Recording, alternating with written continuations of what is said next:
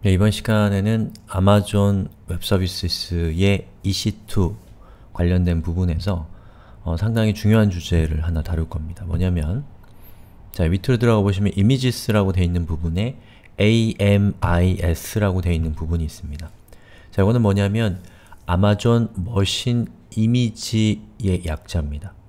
예, 그래서 아마존 머신 이미지라고 하는 것은 어, 머신이라는 것은 가상 머신, 예, 우리가 만든 이 아마존에서 만든 머신을 얘기하는 거고요. 컴퓨터를 얘기하는 겁니다. 그리고 이미지라는 것은 음, 그 컴퓨터가 가지고 있는 상태, 그 상태를 그대로 얼려서 나중에 똑같이 복원할 수 있는 예, 그런 형태의 데이터를 우리가 이미지라고 부릅니다. 그래서 여기서 얘기하는 상태는 그 컴퓨터에 설치되어 있던 운영체제, 또 그 컴퓨터에 설치되어 있던 여러가지 소프트웨어들, 또 설정들, 그리고 심지어 현재 실행되어 있, 는 그 프로그램, 그 상태 그대로를 그대로 얼려서 예, 만든 것이 이미지입니다. 그래서 이 아마존 EC2에서 이 이미지라는 것은 상당히 중요한 의미를 갖는데 그건 이제 차차로 이야기를 진행하면서 같이 한번 이야기를 해보시죠. 자, 저는 인스턴스를 하나 준비했는데요. 이 인스턴스에는 어, 우리 이전 시간에 웹서버를 설치하는 거 보셨죠? 그렇게 웹서버가 설치가 되어 있습니다. 뭐 이게 리눅스건 우분투건 상관없 리눅스건 아니면 윈도우건 상관없이 어쨌든 웹서버가 설치가 되어 있는 상태고 그리고 그 웹서버에 접속하면 접속할 때는 이 주소를 사용하면 되죠. 보시는 것처럼 hello aws라고 하는 그 웹서버에 저장되어 있는 어, index.html 이라는 파일 안에 있는 내용을 어, 화면에 뿌려주고 있는 모습입니다. 즉, 어, 제가 지금 보여드린 이 인스턴스는 어, 떤 운영체제가 설치되어 있고 또 어떤 웹서버가 설치되어 있고 그리고 거기에 어, index.html 파일이 있는데 그 안에 어, hello.aws라고 하는 인덱스 파일이 있고 그리고 웹서버가 현재 설, 실행되고 있는 그 상태라는 것이죠. 제가 이 상태 그대로를 확 얼려서 어디가에 저장해 놓을 수 있어요. 그리고 그 저장해 놓은 것을 기반으로 해서 새로운 인스턴스를 만들어낼 수도 있습니다. 자, 그거 지금 보여드리려고 하는 겁니다. 자, 어떻게 하면 되냐면 우선 여러분이 얼리고 싶은, 이미지화 시키고 싶은 이미지를 그 인스턴스의, 인스턴스를 선택하고요. 그 중에 이미지라고 되어 있는 부분을 보시면 create image라고 하는 항목이 있습니다. 음. 자, 이 create image라고 되어 있는 항목에서 우리가 만들 이미지의 이름을 적습니다. 예를 들면 웹서버 그리고 2015년 12월 28일 뭐 이런 식으로 요 이름은 아무렇게나 적으시면 됩니다. 여러분의 기준에 따라서 적으면 돼요. 자 그리고 이미지 description 이미지에 대한 설명을 적는 건데요. 전 여기다가 웹서버라고 그냥 적을게요.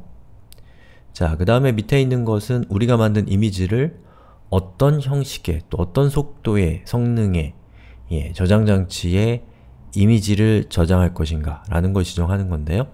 요건 이제 나중에 여러분이 이미지를 복원할 때 어, 여기 있는 이 저장 장치의 크기에 따라서 복원이 되게 될 겁니다. 예.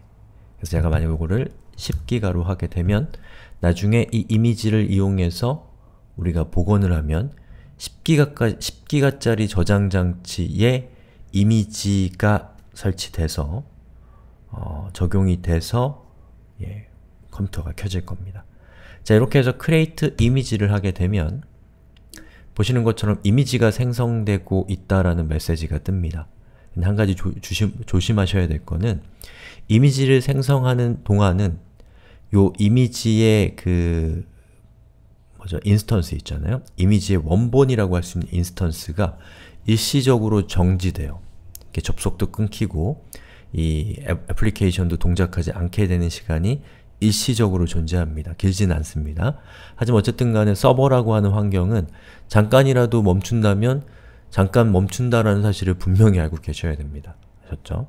예. 그리고 AMIs로 들어가 보면 보시는 것처럼 뱅글뱅글 돌고 status는 pending이라고 나오면서 아까 우리가 선택한 이 오리지널 인스턴스를 이미지화 시키는 작업을 현재 하고 있다라는 뜻입니다.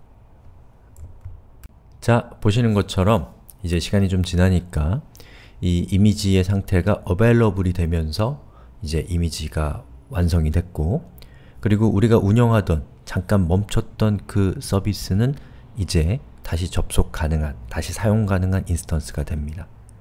자 그럼 이제부터는 우리가 방금 생성한 이 이미지를 기반으로 해서 얼마든지 많은 instance를 생성할 수 있습니다. 자 그럼 제가 한번 이 이미지를 기반으로 해서 이 이미지를 가지고 새로운 instance를 하나 만들어 볼게요. 자 여기서 오른쪽 클릭하고 launch라고 되어 있는 부분을 클릭합니다. 자 그럼 여기에서부터는 어, 우리가 instance를 만드는 과정과 똑같습니다. 자, 그래서 여기에서 어, 첫 번째 화면에서는 choose an instance type이라고 해서 instance의 각 그 뭐죠? 스펙을 정하는 거죠. 그리고 next를 누르면 보시는 것처럼 이런 화면이 나오는데 이것도 우리 이전에 인스턴스를 새로 만들 때 봤던 것과 똑같은 화면입니다. 그리고 next add storage를 하게 되면 우리가 이미지를 만들 때 그 이미지의 저장 장치의 크기를 10기가로 지정했죠. 그 10기가가 이렇게 나타나는 거죠.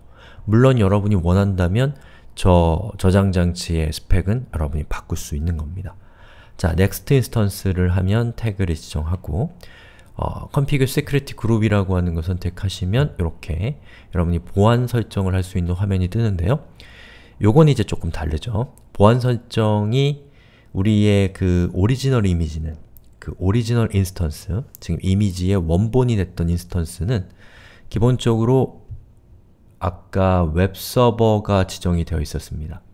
그런데 지금 우리 새로 생성한 이미지를 기반으로 해서 새로 생성한 이 instance는 예, 설정이 안 되어 있기 때문에 여러분이 다시 설정해 주셔야 되는 부분이에요. 그리고 review and launch를 하고 그리고 launch를 누르면 여러분에게 어, key pair가 나오죠. 그래서 자신의 비밀번호를 선택하시고 launch instance를 하시면 이제 instance가 생성되기 시작합니다. 그리고 다시 instances로 돌아가 보면 우리가 만든, 우리가 새로 만든 어, instance가 형, 현재 만들어지고 있는 것을 볼 수가 있죠. 조금 시간이 지나면 완성되겠죠. 자, 이렇게 해서 instance가 만들어졌습니다. 자, 그러면 우리가 만든 instance가 어, 오리지널 instance와 그 이미지의 오리지널 instance와 동일한 instance인지를 확인하기 위해서 여기 있는 주소를 카피해서 제가 붙여넣기를 하면 보시는 것처럼 얘도 hello AWS라고 하는 메시지를 출력하는 것을 볼 수가 있죠. 즉, 여기에 있는 요게 이제 오리지널 instance였거든요. 얘와 얘가 똑같이 동작한다라는 것을 똑같은 상태의 instance라는 사실을 알 수가 있는 부분입니다. 자, 그래서 이 기능은 이제 어떻게 이용할 수 있냐면 여러 가지 이용 방법이 있고 이 AWS에서는 이 AMIs라고 하는 것을 정말 폭넓게 사용합니다. 그 중에 이제 가장 여러분들이 와닿을 수 있는 부분은 뭐 백업 같은 게 있을 수가 있죠. 그래서 여러분이 이 서버 쪽에 좀 심각한 작업을 한다거나 되돌리기 힘든 작업을 하기 전에 instance를 만들어 두는 거예요. 그 다음에 만약에 그 instance를 그 뭐죠? 이미지를 만든 다음에 오류가 있거나 문제가 있으면 여러분이 만든 이미지로 새로운 instance를 launching해서 거기서 서비스를 꾸려나가시면 됩니다. 문제가 있는 instance는 삭제해버리는, 삭제해버리면 된다는 것이죠.